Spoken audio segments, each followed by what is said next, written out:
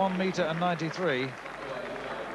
But a man who is causing all sorts of surprises in the shot is Werner Gunthoer of Switzerland, who has used his uh, six foot seven stature to very good effect indeed. 22 metres and 22. This is the final round.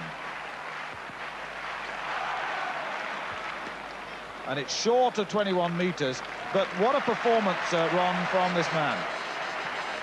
Yes, and possibly the best thing about it is that it's Switzerland's only real chance of a gold. They haven't had one for such a long while, and he really is uh, uh, doing tremendous stuff because he's beaten uh, the previous world record holder, the, the current world record holder, well, at least at the moment he's leading them, and that's a tremendous demonstration. 22-22, we've seen a first-class shot competition.